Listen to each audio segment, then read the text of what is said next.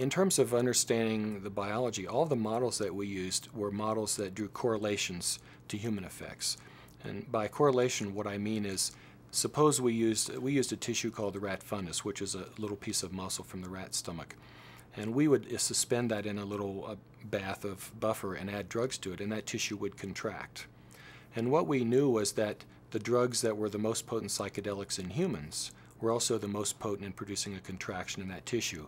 And conversely, drugs that were weak, weakly active in humans were weak in that tissue. So it was a correlation, and we could uh, actually draw a line that, that correlated the human potency with the ability, for example, to contract that tissue. So everything we did involved correlations between what we knew about the human potency and what was going on in the model. So we started with these smooth muscle tissues. We looked at uh, a mouse ear scratch assay where the mouse lifts his paw up and kind of scratches behind his ear.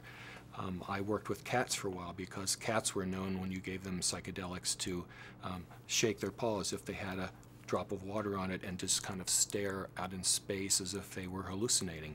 We used cats for a while, but they were expensive and, and fairly unreliable. We eventually, in the mid 80s, uh, settled on an assay called drug discrimination.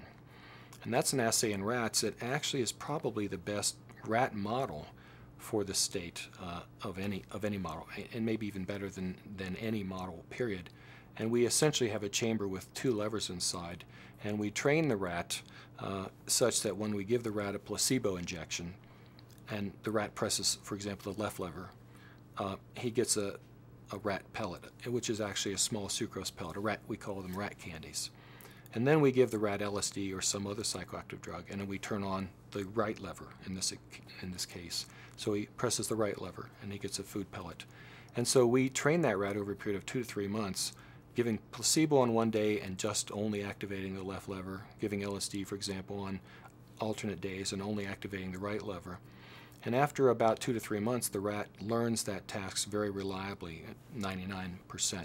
So on any given day, if we put the rat in that chamber and give that rat placebo or saline saltwater injection, the rat will reliably press on the left lever. If we give the rat LSD, the rat will press on the right lever. And then once the rats are trained, we take the new compounds we've made and administer them to the rat in different doses. So if the rat responds on the lever that was associated with the placebo, then he's, the rat is in essence saying, I don't think you gave me LSD. And if the rat responds on the lever that was associated with the LSD treatment, the rat is saying, I think you gave me LSD. And that's really about the best assay we have. It's simply the rat says, I think you gave me the psychedelic training drug, or I don't think you gave it to me. And of course, it's a, it's a pale reflection of what you'd really like to see with clinical studies, because obviously uh, the substances we make probably have very different psychoactive properties in humans.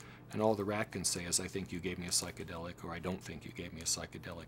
And that's really the limit of what we've been able to do with the, the behavioral models.